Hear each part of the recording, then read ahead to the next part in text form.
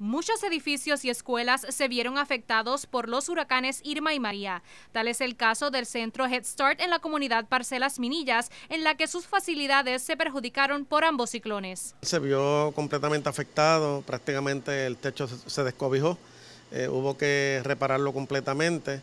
El área del patio, el área de juegos también se vio afectada porque hubo árboles que cayeron. El gazebo que está en la parte eh, exterior también se vio afectado. Así que fue una, una reconstrucción total del centro. El alcalde comunicó que el programa de Head Start cubrió el costo de restauración y que esperan que FEMA reembolse los gastos. A FEMA se le hace reclamación, pero FEMA tarda en pagar. Por lo tanto, se usaron otros fondos en lo que FEMA paga eh, lo, que se invirtió en esta rehabilitación. El costo de rehabilitación fue unos 25 mil dólares. Tenían que aprobarnos los fondos para la rehabilitación de, de las facilidades eh, y el tiempo de construcción, subasta, construcción, pues tomó unos cuantos meses.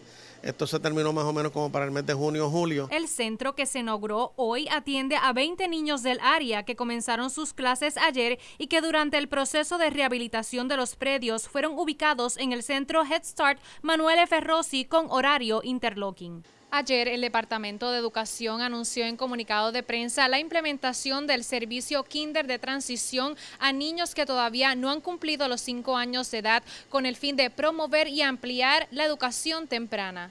Yo encuentro que lo del kinder de transición es algo que nos ayuda a nosotros también para fomentar la continuidad de servicio en nuestros niños. Es algo que deberíamos de coordinar con la Secretaría de Educación, hacer un acuerdo colaborativo para entonces fomentar ese proceso de continuidad en nuestros niños, pero sobre todo que no se queden sin, su educación. La directora del programa en San Germán comunicó que aunque han tenido una baja en matrícula por la emigración de familias a los Estados Unidos luego de los fenómenos atmosféricos, ahora ya tienen su matrícula completa. Para Noticias UOL 12, Frankie González y Nidia González.